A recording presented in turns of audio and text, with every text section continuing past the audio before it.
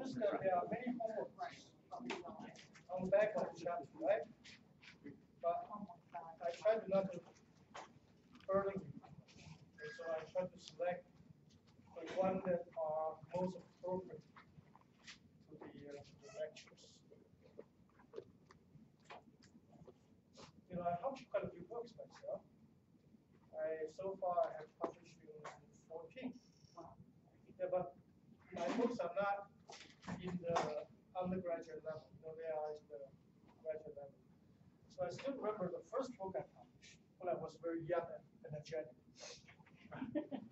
I wrote a book myself, has about four hundred pages.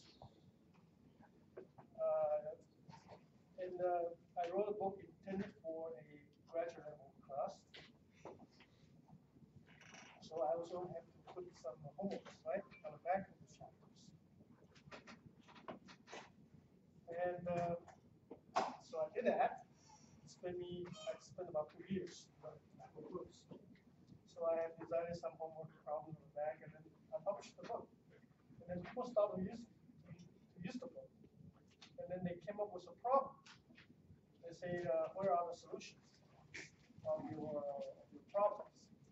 I say, oh, I have not solved the problem yet. So let me try to do that. Okay, so I try to come up with the solution and uh, try to give the, the, uh, to the people who use the book.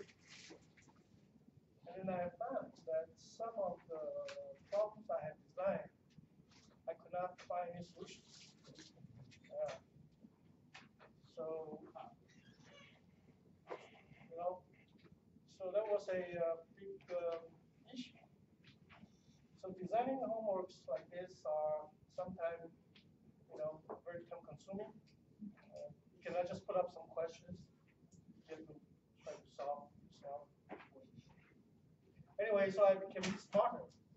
All the books I published after that, I did not put any, I did not put any uh. So no problem, it's just, just the chapters. Then uh, they are less uh, suitable for classes. They are more suitable for uh, what we call uh, references. Anyway. Uh, so what we did last time, we talked about the concept of, of a MOSFET, right? N-channel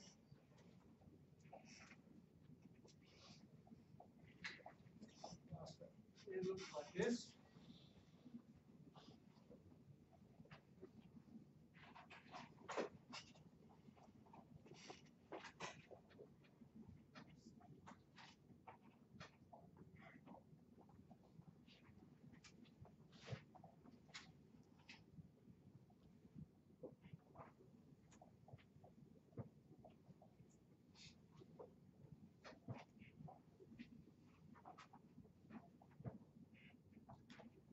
Okay. Uh, everything is silicon except this layer is called is uh, silicon dioxide, which, by the way, is an insulator. Insulate.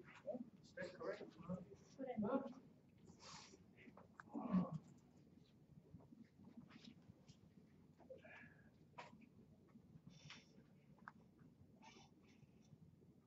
Okay. Uh, and the the, shade is uh, metal. Uh, we use different metals, by the way, but the most popular metal is what? Huh? Uh, aluminum or uh, copper. Okay. So the so this is called the N-channel MOSFET uh, because what happens if you apply a voltage to the gate, huh? you're going to create electric field. This is the electric field from top to the bottom, and then you can create what we call the uh, inversion channel. Yeah. Then the device is turned on. So the symbol of this device is like this.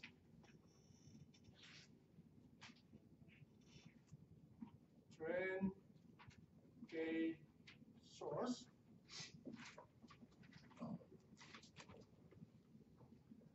Okay, the current, drain current, source current. Okay, so I sub D is always equal to I sub S, and I sub G is always zero. Huh? Because, because again, as I said, this is an, an Ethernet, right? So there's no gate current. Ideal. Okay, and um, the voltage, this is typically grounded. So there's a voltage between here and here. We call this VDS. And there's a voltage between the gate and the ground. We call VGS.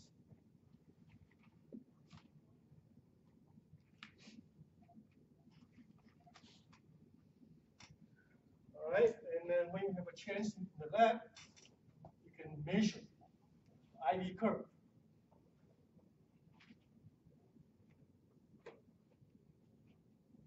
MOSFET, right? And uh, for, for a specific VGS, you get a curve like this. And this can be separated into two different regions. And this voltage is called VD sat. So, so this is the region called the linear region. And this is called uh.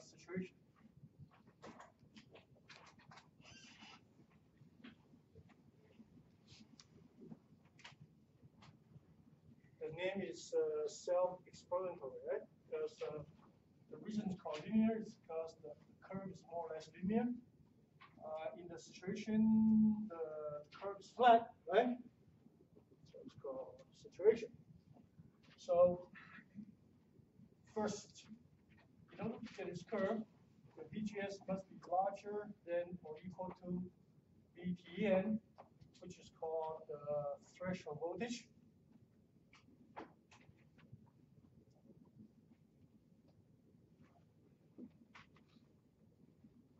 If this is not the case, then you have zero curve.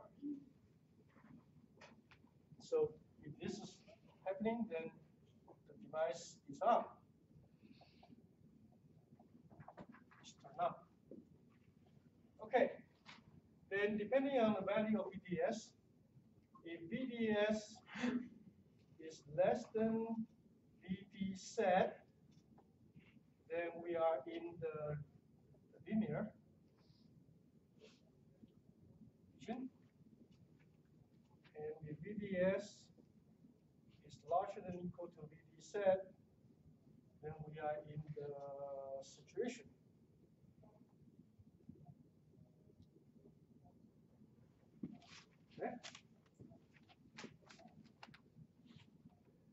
And this is the region we prefer.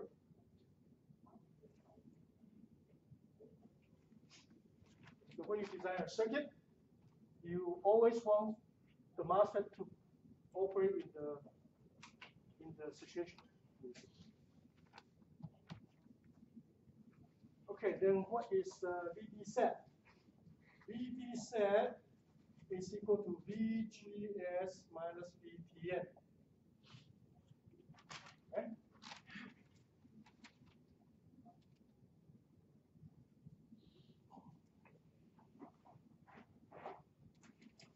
So now I'm going to give you the equations that correlate the current and, uh, and the voltage.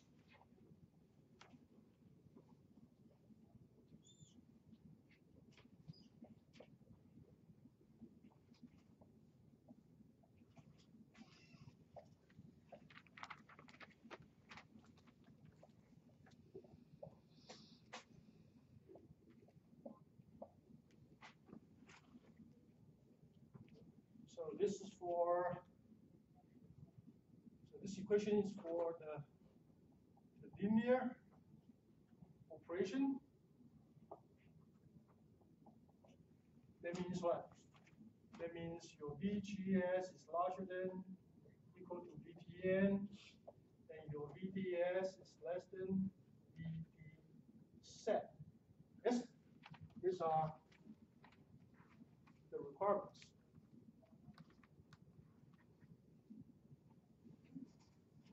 Okay, the other equation, I sub d is equal to kn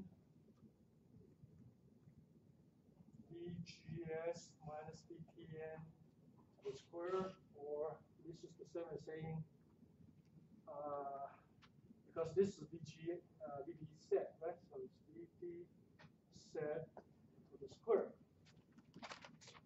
So this equation is for the saturation operation.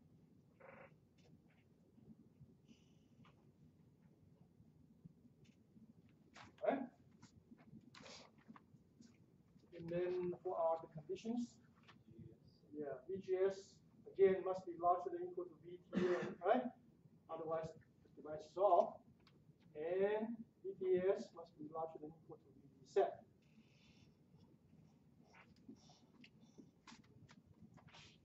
Okay, there's a parameter I have not specified it, yeah, which is K sub n. So I need to talk about K sub n.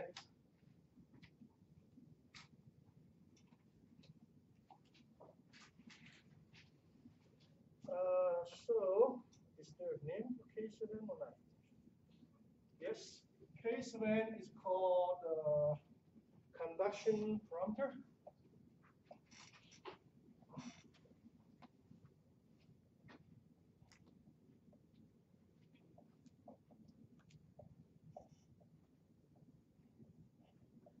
Okay, and that is equal to W mu sub n C oxide to L.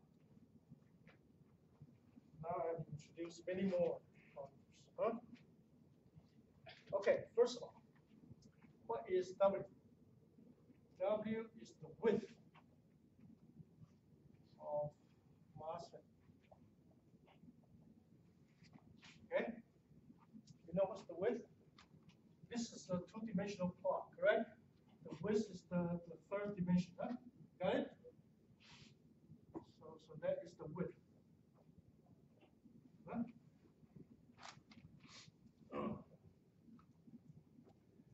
Okay, L, L is the called the channel length. Right? Where's the channel length? Channel length is right here, right? Channel length is the region that is uh, that is sandwiched between the two end regions, huh? And I told you last time that L is a is a what? It's a metric, yeah? For the technology.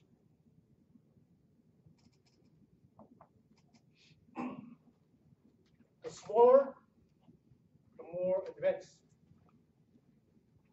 Right now we are at 10 nanometer. Next year, I think we could go down to 7. But it cannot be 0, huh?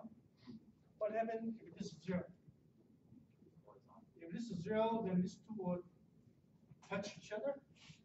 Then all you have is a, is a, is a resistor right?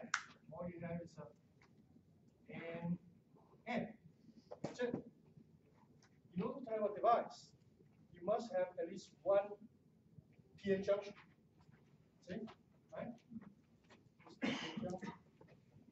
So you cannot go to zero. So many people are argue what is the limitation of, of yeah. Huh? What is the, the smallest L you can make. I think we are pretty, pretty close. Seven nanometer. Yeah. So that means the the evolution of our uh, current technology would have to stop very soon. Um, I just heard an article too that uh, said they're working on using carbon nanotubes, I guess, to like keep shrinking it. Yeah. Okay, there, there are many, um, there are many new ideas hmm of how to, um, how to, uh, uh, go from the traditional silicon, this is silicon, right? hmm silicon technology to some, uh, new technology, uh, using, uh, new type of materials. Right. Like, uh, graphene, carbon tube, uh, organic materials. This silicon is inorganic, got it? Okay? Uh, but those are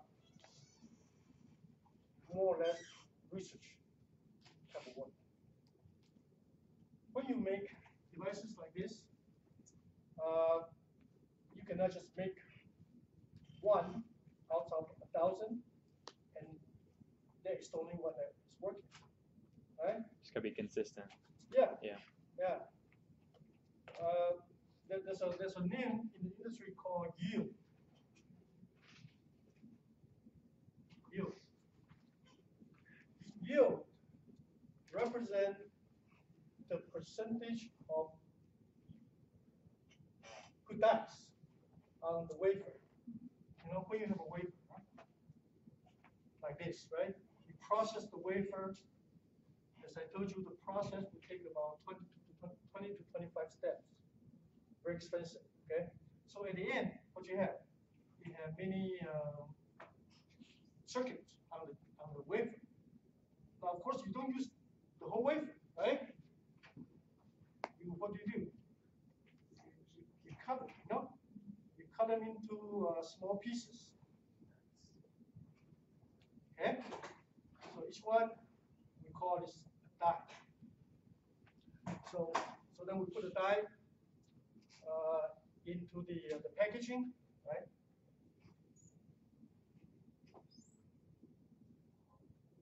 And so that's the die, got it? If you open up your uh, computer, uh, you see, you see this, right? It's the black color, right? But that's not the chip. The real stuff is what is inside, right? Okay, and that is coming from here. Now, uh, to make a profit, the yield must be larger than 85% or so.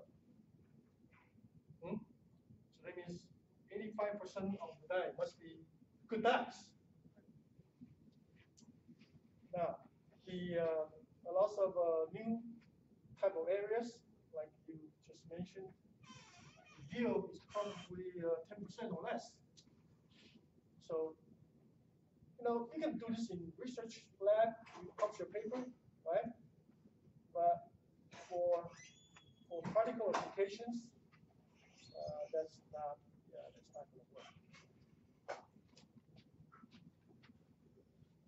Okay, you know, of course, the cost, right? The cost, the yield, and also the reliability, right? For, for example, I don't know if you know organic, if you use organic materials to make devices, uh, the organic material can oxidize with, with the air very quickly. So maybe uh, the chip will become uh, uh, uh, not usable in about three days. So would you buy something like that? Silicon is very reliable, right? You, know, you can use it for more than 10 years. Yeah. Okay, so where were we? So we are, I'm trying to, try to explain to you the, uh, this equation. Uh, mu sub n, what is mu sub n? Mu sub n is called uh, electron mobility. field, then it's called the electron mobility. So what does that mean? So this parameter will tell you how fast the electron will, will move. Hmm? Now, of course, you want this to be as high as possible, right? Because if you, if you use the mass at you try to build a high frequency circuit, right? Then the devices in the circuit must be very fast switching. And the switching time depends on this. Um, is the switching time on a transistor faster than a MOSFET typically? Means the BJT. Yeah, sorry. Uh, not necessarily. No. I think MOSFET becomes faster. Faster. Yeah. Okay. So MOSFET, the reason MOSFET uh, becomes so popular over BJT, uh, there are several reasons. First, the, the switching speed is very fast. Mhm. Uh, the cost is low. The power consumption is lower. Okay, so I think these are the three main factors uh, for the MOSFET. Okay. Yeah. Um, since we are talking about this, so I thought I would give you some um, some recent uh, advancement. Uh, so there's a way to increase the uh, the, the mobility. Uh, one is to not use silicon. Silicon typically has small electron mobility, and that's why graphene. Well, people have thought about replace putting the uh, graphene and use that as the channel. And graphene, the mobility of graphene is about a thousand times higher than silicon. Got it? Okay. But unfortunately, there are other issues, right? The yield, the reliability, the cost. Okay, so, so, so, so just the speed, that's not going to work. Okay. But graphene has the advantage of very high speed. But people still like to use silicon, right? Silicon is a very nice material. So about 10 years ago, uh, some people have invented a, a process in which they can they can press uh, silicon material to make it uh, to make it the higher uh, electron mobility. So, for example, uh, so this is silicon. So somehow, if you can find a way to to to uh, to press the material, and then once this material is pressed, then the mo- mobility will become higher.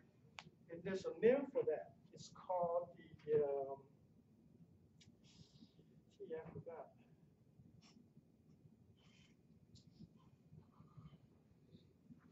What's the name for that?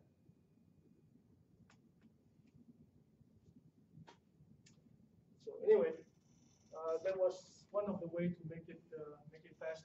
Okay. Okay. Uh, let me go on. C oxide. C oxide is called uh, the oxide layer uh, capacitance. Okay, and it is equal to um, epsilon oxide over T oxide. So this is the the dielectric permittivity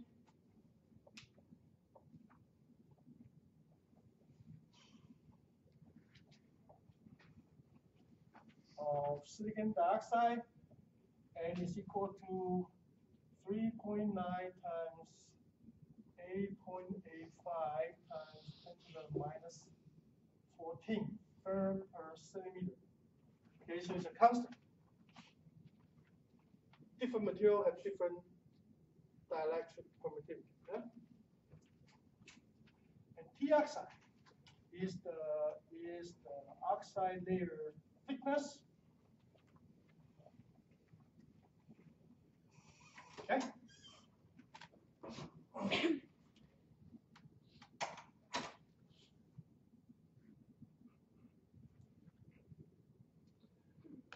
Not later right here, right here. You can see that I sub D would increase if C oxide is increased. Correct?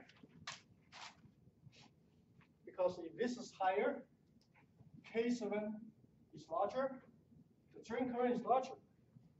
Now you always want to design a transistor that give you a larger current, right? Therefore,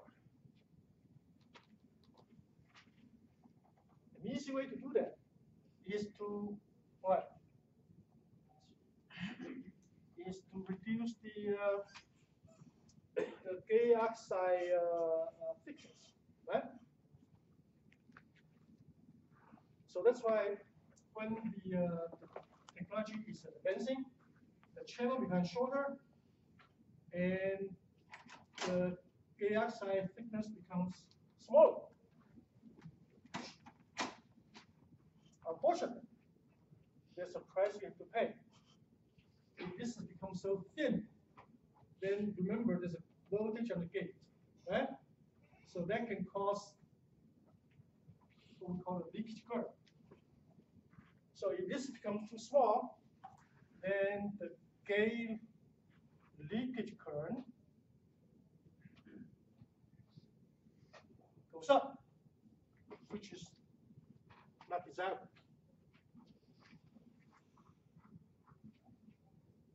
So what do you do? So what do you do to keep C oxide high and at the same time try to reduce the leakage current? Well, so people came up with an, an idea called the high K dielectric.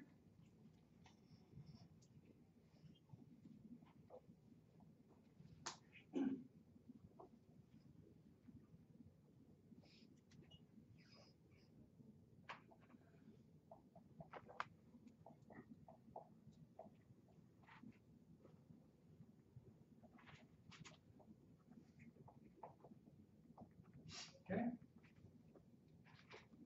By the way, this number right here represent the K number. Okay. So for silicon dioxide, K is equal to 3.9. So the idea is the following, right? If I can use a material that has a much higher K value, yes, then I don't have to I don't have to reduce the thickness in order to get a large C oxide, correct? So that's the idea.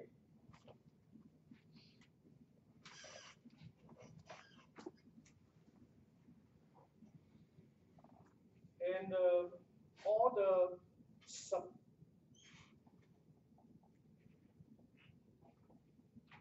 nanometer uh, devices have uh, have uh, high K. Alright. So that means these advanced devices uh, do not use uh, the traditional silicon dioxide. Okay, they use uh, high K, and the purpose is very simple, right? As I have just told you. If you have a high K, this is high, then C oxide become high, and then I sub D becomes large, right? Okay. I think we can now try to do some examples. Oh, by the way, there is a parameter introduced in the book. I don't know what's the purpose, but uh, I need to let you know. So the book introduced a parameter called K sub n prime, and that is equal to mu sub n C oxide.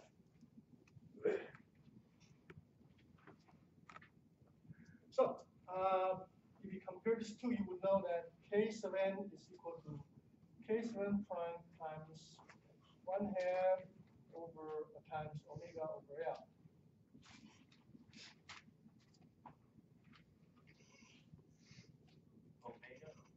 Uh, uh, W, yeah, W over L. Well, I guess the reason for this uh, new parameter is what? is that you can see that this is the dimension, right? It's the dimension of the MOSFET. And this has nothing to do with the dimension. It has to do with the, the physical property of the mass MOSFET. So maybe that's the reason they introduced this.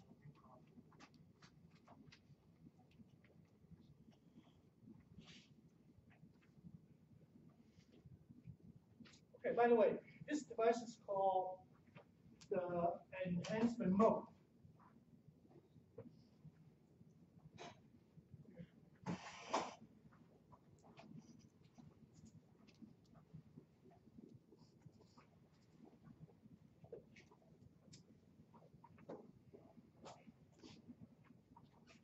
Okay, what, what is the meaning of enhancement mode? This means you must have to apply a gate voltage, which is larger than equal to the threshold voltage before the device is turned on.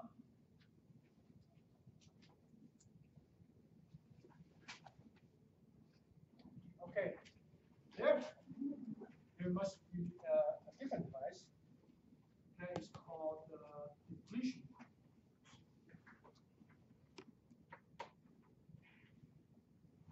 So what's the meaning of depletion mode? That means uh, device on even no gate voltage is applied.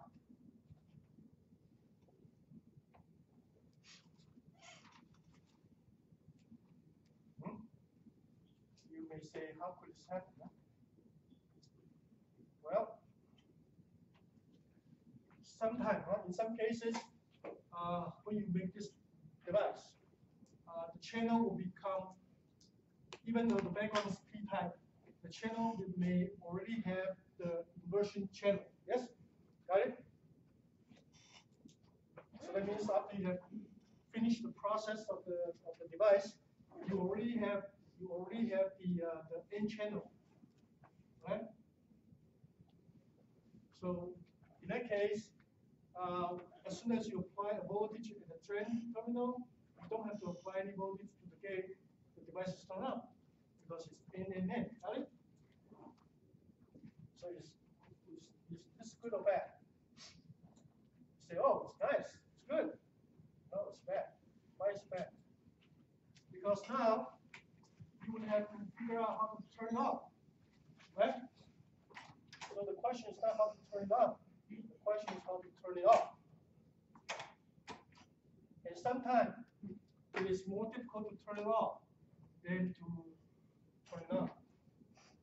So for circuit designers, uh, we prefer to have enhancement mode, and we do not like to have depletion mode. All right, then let me just spend a few minutes to talk about the P channel MOSFET, and then we can do some examples. So of course we can have a P channel, right? But we don't use P channel as much as N channel. There's a reason for that. Everything has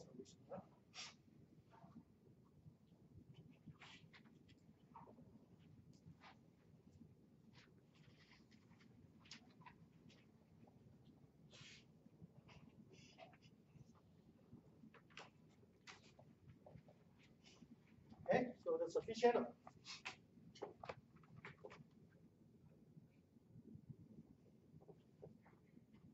All right, now, what is the voltage the gate you have to apply?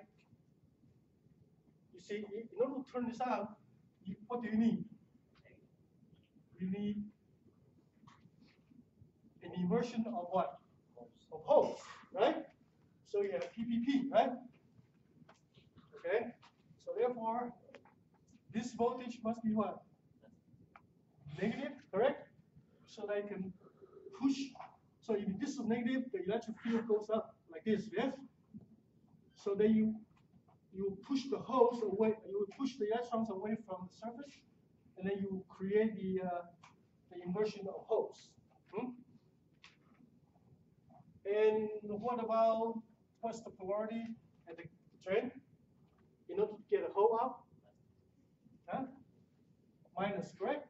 Yeah. So so your VTP, which is the which is the threshold voltage,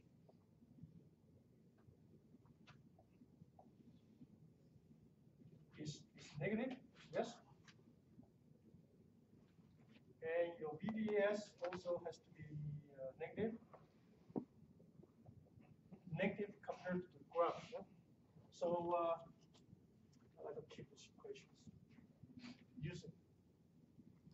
So when you do the measurements, uh, there will be in the in the ID versus VDS, right? So you be like this. So this will become your VD sat. Huh? Now, of course, uh, this is just for one VG, right? You can have different VG, huh? different VG, correct? So you can have different uh, curves.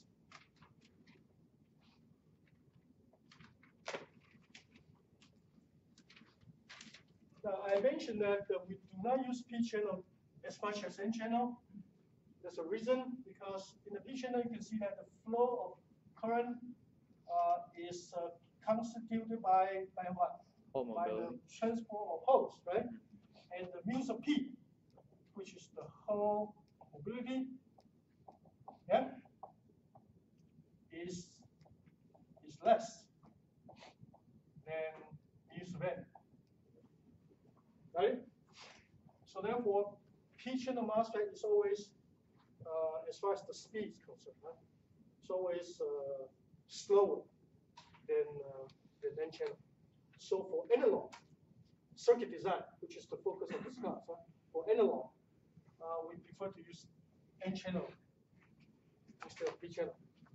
For digital, you have you don't have a choice, right? For digital circuit, you have to use uh, what? You have to use CMOS, right? For digital, because you do switching. And CMOS is the is the combination N channel and uh, P channel. MOSFET. So a C means uh, what? Complementary, okay?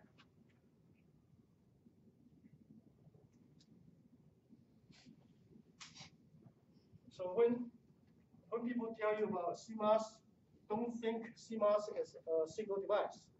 It is a combination of, of N channel and P channel.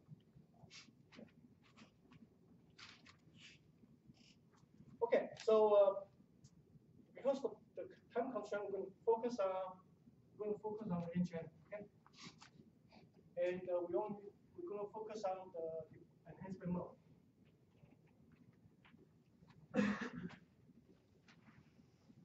Okay, I think it's time to do some examples. Yes.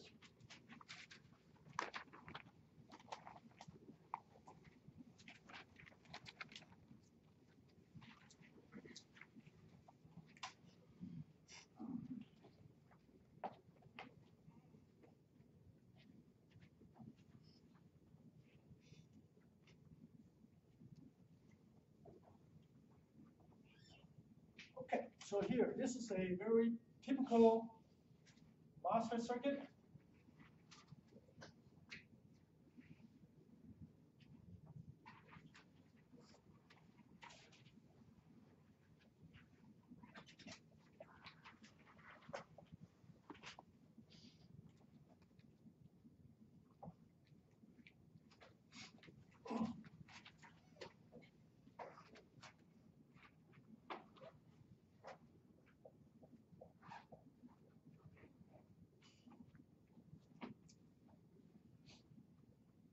Okay.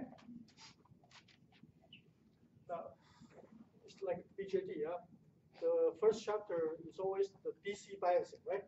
So here we're going to talk about the DC biasing, right? We are not, we are not talking about the AC operation. When we get to the next chapter, we're going to talk about the AC operation.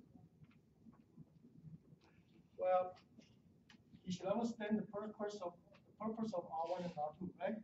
It's like the, in the BJT circuit, uh, you use this to get the proper voltage at the, uh, at the base terminal, and now try to get the proper voltage at the gate terminal, yes? Okay?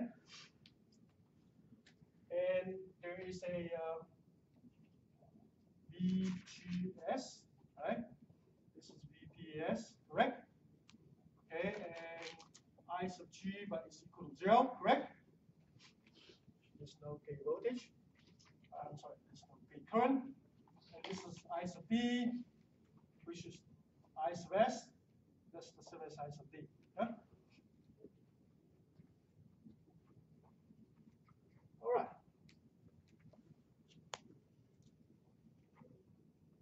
So let me see what we want to do now. I think the first thing you should do is to try to figure out the DC load line, the Q point.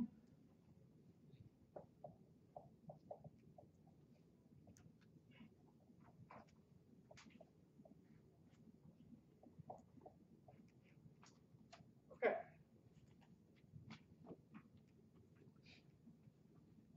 First of all, let me call this voltage here as my VG, correct? Okay? And VG is a function of VDD, right?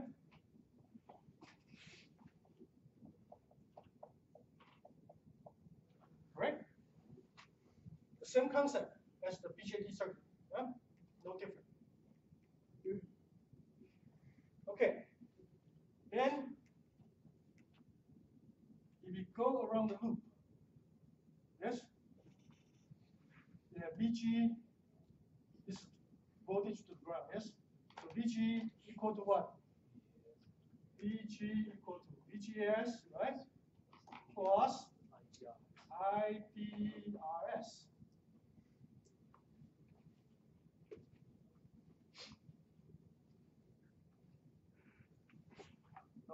Unfortunately, you cannot solve this equation because it has two unknowns. This unknown, this is unknown. Yes? In the BJT circuit, it's different, right? In the BJT circuit, when you try to do the KVL, you get one equation and one unknown. Yes? So for the MOSFET, it's different. Okay, what do you do? Now you need a second equation, so we can use the, the formula we have for ICD as the second equation. But now we have a problem. Uh, there are two different equations, right? One for the linear operation, the other one for the saturation. So therefore, we have to choose one. Typically, we will assume that the MOSFET is in saturation.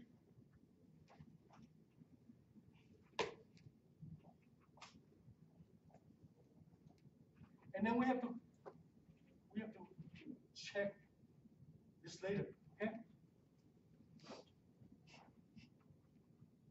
Because sometimes the MOSFET can be in uh, in the linear.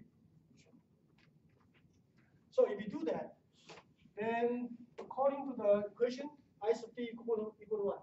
Equal to Kn VGS minus VTN to the square, right? So I will call this equation one. This is equation two. Yes? So now I have two equations and two unknowns.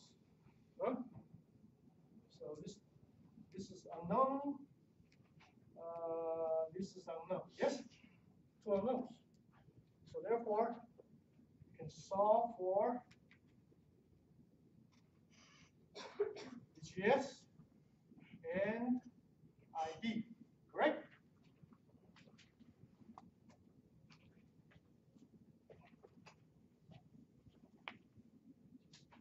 Dr. Lu. Yeah.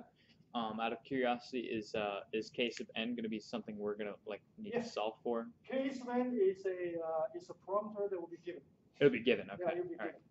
Uh, basically, uh, K seven and visa P, ETN, Mm-hmm. these are the parameters. Things that won't change through our exam. Okay. Well, Or not needed to solve. they Right. are related to the, to the MOSFET. Right. Okay, Right. So, should be given. Alright. Okay, then we go to the output loop, right?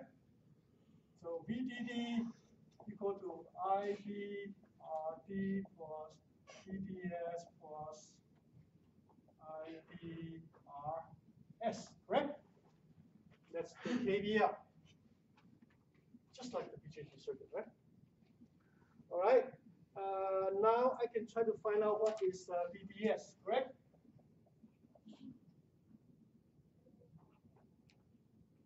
VDS is equal to VDD minus ID RS plus. Yes?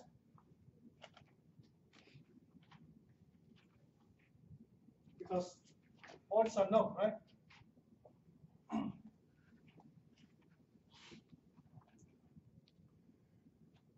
Then, once you have found this, you need to verify the assumption. So what's the assumption? We have assumed that the MOSFET is in the saturation, right? So what does that mean? Yes, ID. That means we have assumed VDS is larger than equal to set, yes? And set is equal to VGS minus VTN. That's the formula.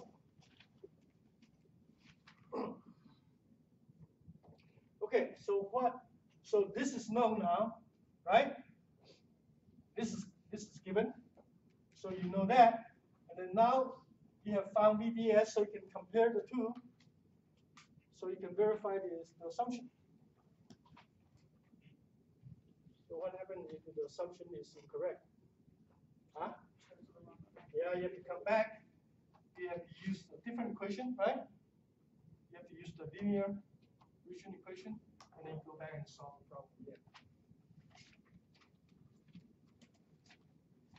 All right. Now, what about the load line?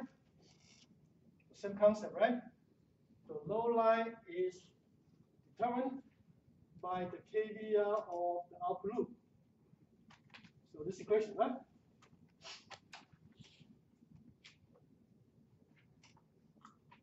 So this is ID versus VDS. Yes? Okay, first of all, you can place the Q point, huh? Because we have found that. We have found ID. Well, that ID is the same as what? IDQ, right? If you like. This VD is the same as VDSQ, yes? So there's a, so there's a VDSQ, there's IDQ, right? Okay, and the boundaries of the load line, uh, this one is always uh, VDD, yes? And this one is it's uh, over RDC, yes? And you should know what's RDC, yeah? RDC is uh, RD plus RS, correct? So that's the that's the total resistance of the output loop under the AC under the DC condition. hmm?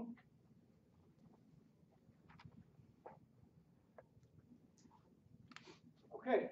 Um, unfortunately, for for the MOSFET, it becomes a little more complex because there is a locus. Remember, this is the locus that separates the linear and the saturation. Huh?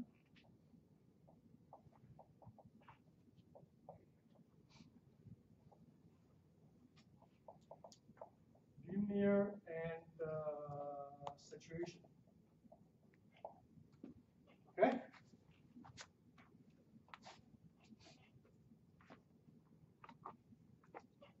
So this is the locus of what? Remember?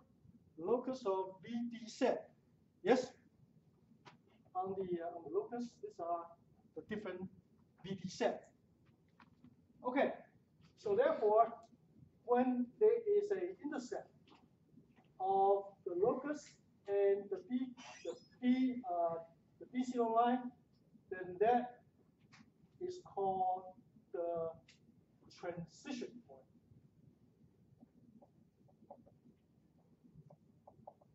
Or the T point.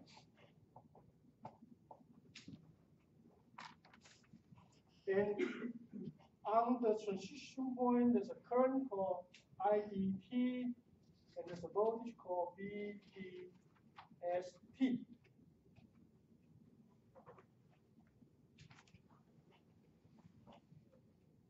So why do we have to worry about the T point? Because the T point represents the upper limit of the DC operation of the MOSFET. Got it? Because if it is beyond the T point, then the MOSFET is in the linear region, which is not what we like. We want the MOSFET to, to operate in the saturation. So the, the meaning of the T point is that it is the upper point of the DC operation of the MOSFET. So now the question is, how do I find the T point? So that means ID must be larger than equal to zero, less than equal to IDT. Yes? And uh, VDSQ must be larger than zero and less than equal to, uh, sorry, larger than not zero, but what? VDST and less than equal to VDD. Okay, so that is the the DC operation region of a MOSFET. Got it?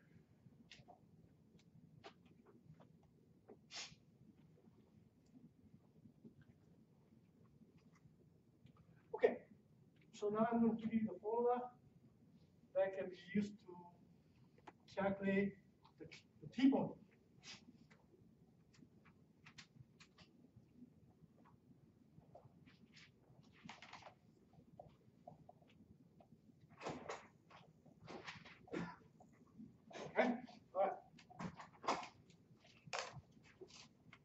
So when you try to find a T point, you use the same equation, same KVL equation for the upper, loop- but you put everything as T, okay?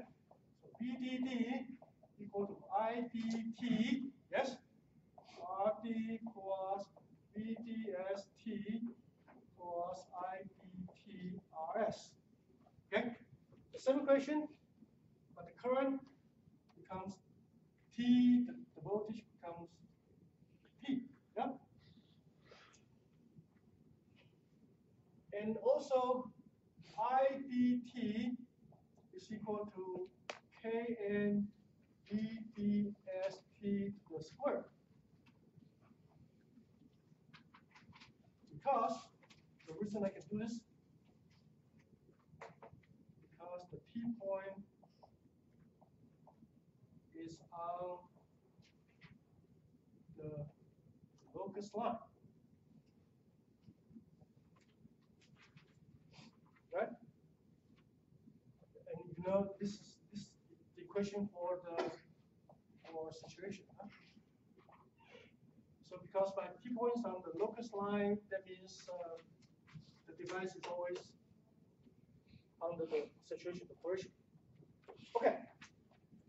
So it combine these two, right? We have two unknowns. IDT and the VDST. Okay, so we can, can, can solve for IDT, can solve for VDST.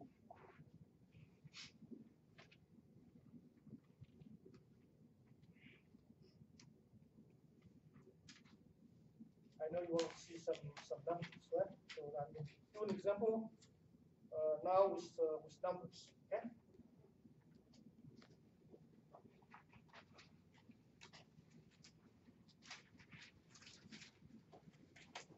See how much time I have. I one or two. Oh, I can do one. All right, let's go ahead. I'm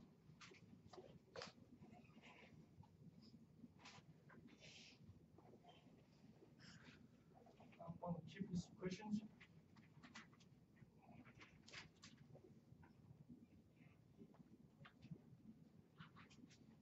It's the same equation, uh, the same circuit. Okay, I'm not going to draw the circuit, okay? I will use the same, uh, the circuit. Uh, VDD is, uh, ten volts. VTN is, uh, two volts, ten point one milliamp per volt square. Okay. RD, ten K, RS, two K. R one plus R two is one hundred K. Okay. ID is given, point five milliamp. Now, part A, find R one and uh, R two, B, uh, Q point, T point, uh, B sigma one.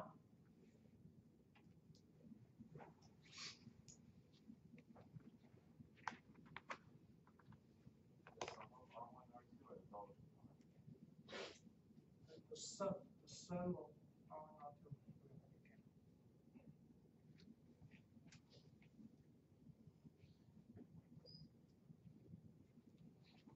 All right, ready? Now you notice that these two, these two counters are device counters, right? So they are always given. Not always. but- Okay. Uh, so you go around the input loop, right? VG equal to VDD, R1 plus R2 and R2, right? But I do not know that because this is not known, right? Cannot solve V sub G.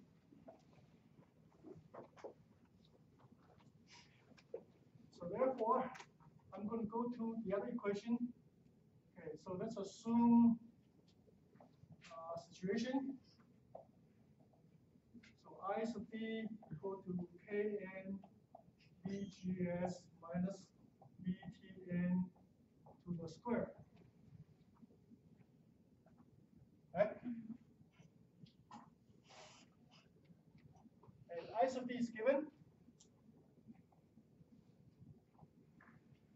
Is given.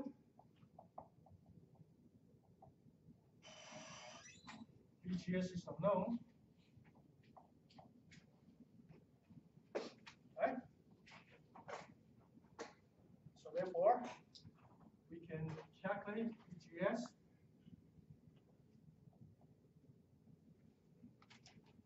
Well,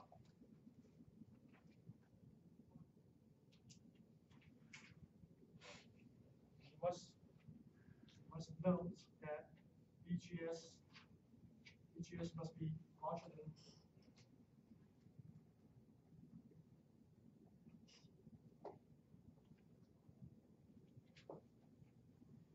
BGN, correct? Otherwise, you have no current. All right, so, so I know VGS, what do I do next?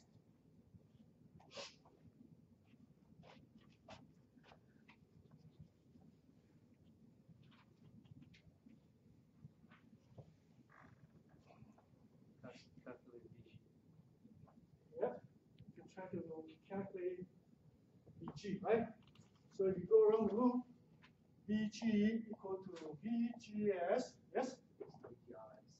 Yeah, plus ID, actually that's, that's the as IDQ, right? IDQ times R yes? And ID is given, VGS is known, right? So therefore VG equal to VGS, that's uh, 4.2, yeah?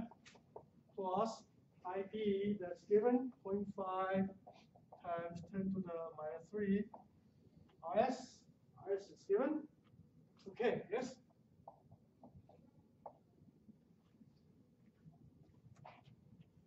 Okay, so therefore, I can get a number for VG. Uh, huh. VG, what's VG? 5.2. Thank you. Then I go back to this equation, right? VG equal to VDD times R1 plus R2 and R2, right? So this is now 5.2. This is uh, 10 yes? R sub 2 is not known, but the combination of R1 and R2 is, is given, which is 100K, yes? So therefore, we can calculate R sub 2, 52K, and then R1 is equal to 48K.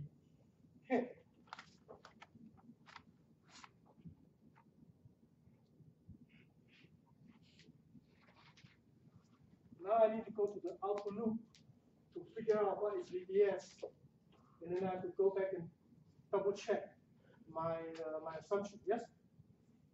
Okay. So if you go to output loop, VDD equal to IDRD plus VDSQ plus IDRS. Yes? So therefore, VDSQ is equal to that 10 minus IDRD plus RS, right?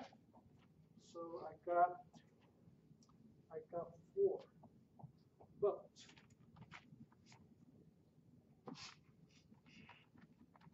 So now it's time to, to verify our assumption. Yeah? Okay, so what is VD sat? Which is uh, VGS minus VTN, correct? And VGS uh, we found was uh, 4.2, right? And VTN uh, is given 2, so it's 2.2 volt. Now the question is, is this larger than that or smaller than that, right? So now we have found that VDSQ is larger than VD sat. So therefore the, uh, assumption is checked. Hmm? Okay,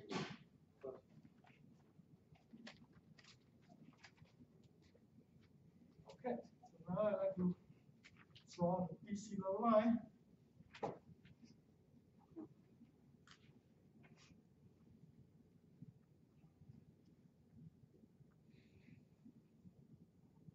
ID versus right?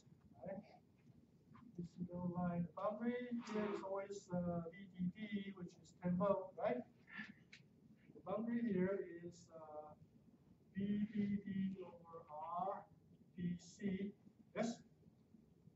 And you know RDC uh, is uh, RD plus RS, correct? So that's uh, 12 volt, 12K, 12 KO. So therefore, this value right here? 10 divided by 12, and so that's about 0.83 milliamp, right? That is the upper bound of the DC line. Okay, the Q point. IDQ is uh, 0.5 milliamp. Huh? So it should be somewhere here, right? Is uh, which is uh, 0.5 milliamp, right? And this is uh, VDSQ, that's equal to uh, 4.2,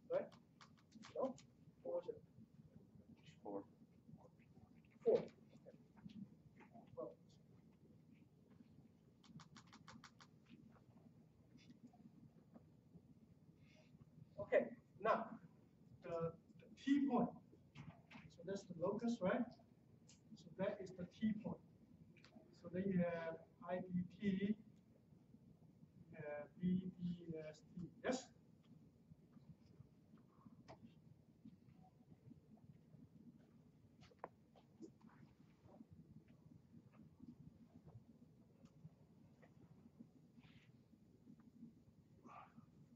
as I said, the you try to find a key point, you use the same uh, equation for the upper loop, but now you put the t. Huh? So this becomes IDT, this becomes VDST. And then IDT equals Kn VDST the square. Right? Now I need to warn you, huh? this equation depends on the circuit. Okay? You don't want to always use that. Got it? Because that's the that depends on the output loop of the circuit. This equation is always the same. Right? So for example, if I if I do not have R sub p, then then this one will disappear, right? And then you only have two terms.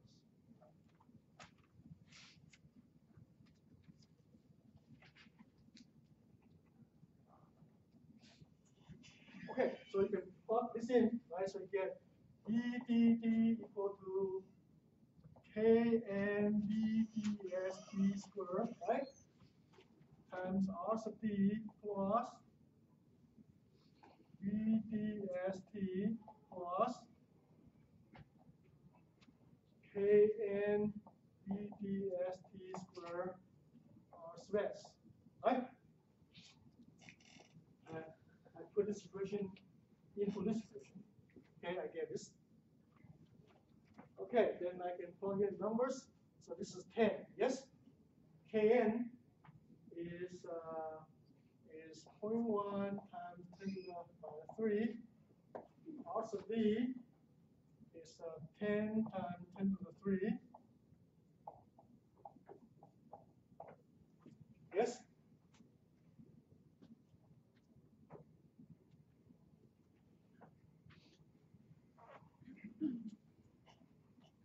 Okay. Plus VDST plus KN.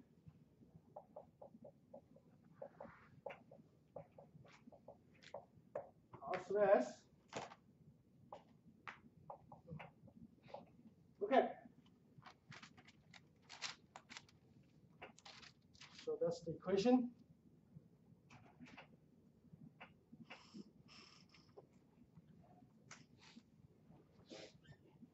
So basically, uh, this is a quadratic, yes, quadratic equation. So you get two solutions. Huh? Two solutions for VDST, yes? I think one will be negative, one will be positive, so you pick up the, uh, you pick the uh, positive one. So VDST will be, uh, according to my notes, okay? 2.5 volts, and then you plug this into the, into the equation, right? Then you can find IDT will be about 0.63 milliamp.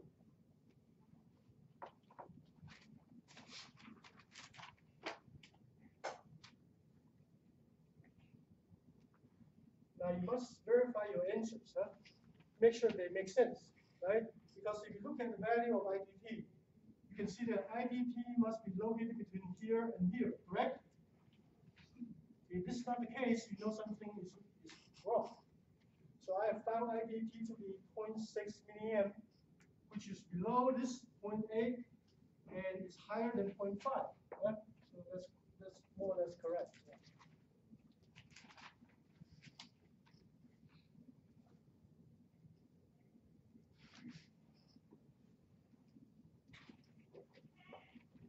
So therefore, the uh, as far as the I sub d is concerned, right? So I sub d must, or I s- IDQ, huh? if you want to design this circuit, IDQ must be located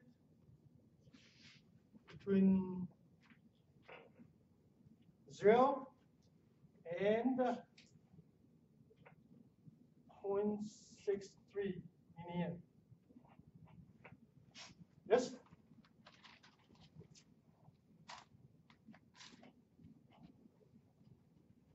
And uh, VDS, VDSQ must be located between, uh, between, uh, two point five volt and, uh, ten bucket, yes?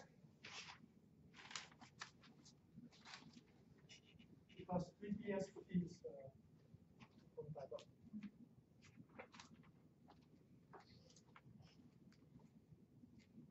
Okay, doke, that's all the time we have today.